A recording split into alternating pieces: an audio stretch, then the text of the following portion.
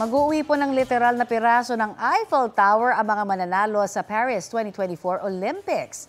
Ang bawat gold, silver at bronze medals na ipamimigay may special token sa gitna.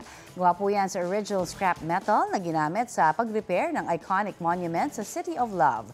Tampok naman sa likod ng Olympic medals ang Greek goddess of victory na si Nike, pati na rin po ang uh, Eiffel Tower at Acropolis. May braille naman at view mula sa ilalim ng Eiffel ang Paralympics medals. Mahigit 5,000 medalya ang ipamimigay sa Summer Olympics na itinakda mula July 26 hanggang August 11. Sa ngayon, apat na Filipino athletes na ang qualified. Ang Paul Volter na si EJ Obiena, boxer na si Yumir Mashal, at ang gymnast na sina Carlos Yulo at Alia Finnegan.